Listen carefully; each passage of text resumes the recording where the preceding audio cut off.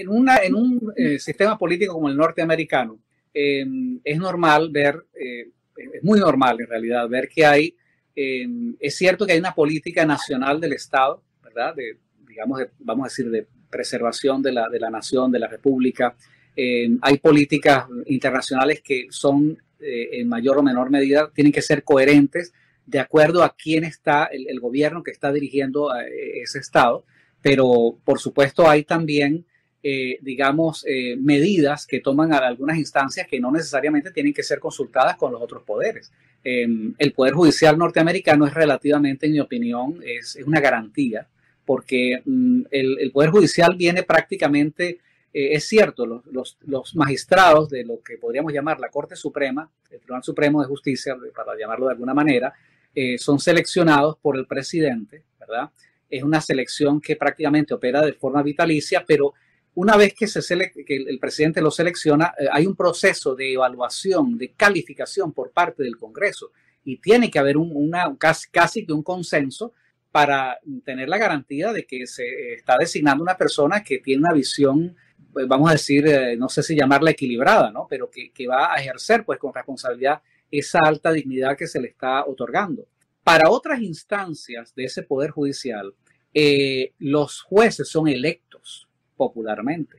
Eh, muchos casos, eh, yo los he visto, los hemos visto, han salido documentados, jueces que han sido, que uno puede decir, bueno, este juez es demócrata, bueno, pero hay jueces que son calificados de demócratas que han producido sentencias en contra de gobiernos dirigidos por demócratas o por funcionarios demócratas. Em, yo creo, yo sí creo en, la, en, que hay todavía una importante independencia del judicial norteamericano y que por eso pues eh, es una garantía.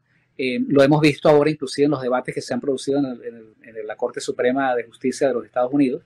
Y, y, por, y yo lo, lo, lo, que trato es como de extrapolar de que esa independencia pues también eh, opera la, la, la, independencia de criterio de acuerdo a las funciones que tienen algunas agencias. La, función del Departamento de Estado y de esta Agencia de Seguridad Nacional es preservar la integridad física de los ciudadanos norteamericanos. Entonces, estamos, para entender la complejidad de esto, estamos frente a un gobierno, eh, la administración Biden, que considera que debe entenderse en términos financieros y económicos con el régimen chavista de Nicolás Maduro. Considera que debe, eh, digamos, eh, poner la misma mesa a falsa posición y al régimen chavista para que surja una negociación, mm, vamos a llamarlo de alguna manera como con la bendición de los Estados Unidos. Algunos funcionarios norteamericanos han, han, sugerido de que sí, de que hay mejorías en, Venezuela y tal y cual. Eh, pero eso pareciera que es como, es, a nivel, digamos, de, es una declaración en el ejercicio de la diplomacia como propaganda. Porque cuando vamos al detalle, ¿qué es el detalle? El detalle y la realidad es que hay varios ciudadanos norteamericanos que están presos en Venezuela y que Estados Unidos ha negociado y no los ha podido sacar porque el chavismo sabe que, que son fichas para negociar y ellos juegan duro y, bueno, están ahí. Eh, el, gobierno norteamericano y las agencias de inteligencia saben que una cosa es que se diga, bueno, hay que negociar con el chavismo y tal. Otra cosa es que haya una masa de gente que se crea el cuento de que en Venezuela mejoró la cosa y se vayan emparrandados a pasar vacaciones eh, a Venezuela y queden atrapados allá sin ninguna garantía. Entonces, yo sí creo que la agencia esta de seguridad nacional está haciendo lo correcto, que es lo sensato. Y lo sensato es entender que cualquier persona que vaya a Venezuela o un venezolano que regrese a Venezuela no tiene garantías. No hay garantías. No hay un poder judicial transparente. Las policías municipales, estadales, nacionales y las Fuerzas Armadas están dominadas por bandas y grupos que tienen, no es que tengan conexiones con bandas criminales, es que operan como bandas criminales es que tienen, es que son casi que brazos, eh, eh, la extensión de los brazos armados de las megabandas. Entonces, no hay garantías. ¿Qué quiere decir que no hay garantía? Bueno, el ciudadano americano que se quiera ir a pasar una vacación a los Roques, que lo haga a su propia cuenta y riesgo. Él verá con su familia y sus hijos. Bueno, usted verá, si usted se cree el cuento que Venezuela mejoró, bueno, váyase de vacaciones. Porque los chavistas que están en Miami no regresan a Venezuela. Eso sí saben, eso sí saben que no se pueden creer el cuento porque nada ha cambiado. O sea, lo fundamental no ha cambiado. ¿Qué es lo fundamental? Las policías siguen siendo corruptas, las Fuerzas Armadas siguen siendo corruptas. Eh, a una persona que sea detenida, ¿cuántos ciudadanos norteamericanos no han sido detenidos sin ningún motivo? Bueno, y les inventan, les inventan un expediente. Y, y, como ahora ellos inventan expedientes hasta por teléfono, como han ido enjuiciando a los propios, a, a, a los militares, que, bueno, ajá, ¿y cuáles son las pruebas contra, para este juicio? No, la declaración del testigo A, pero eh, para proteger su identidad y su integridad, no se puede dar a conocer los detalles de quién es el testigo A, ni siquiera podemos decir qué fue lo que dijo el testigo A, pero el testigo A incriminó a, la, tal persona y sale y, y, de una manera, digamos, tan absurda, fabrican unas sentencias donde lo que hay son eh, cosas montadas, pues prácticamente. Bueno, este es un país donde no hay garantías jurídicas para nadie. Entonces, bien que el Departamento de Estado norteamericano le advierte a sus ciudadanos que tengan mucho cuidado, porque es que Venezuela no es un país para ir a, para ir de bonchi, para ir a, o sea, es, eh, eh, bueno, es un país que está sometido a las peores circunstancias, a las peores situaciones desde el punto de vista de seguridad pública y donde, eh, bueno, ahí, eh, ahí sí la, la, las penurias que pasan, o sea, cuando se va la luz, cuando no hay internet, cuando no hay agua, pues bueno, eso, aunque uno uh, pudiera pensar de que, que, que los chavistas son diferentes y para los chavistas hay agua, no, no, cuando se va, se va para todo el mundo y se va para Miraflores y para Puerto Tiuna, y bueno, y es así. Y entonces, claro, lo que quiero decir con esto es que a la, a la final, eh, el país en su conjunto y quienes están de tránsito en, en, ese momento por Venezuela, pues tienen que sufrir los rigores de, la, de esas eh, eh, privaciones que hay cuando no hay las cosas.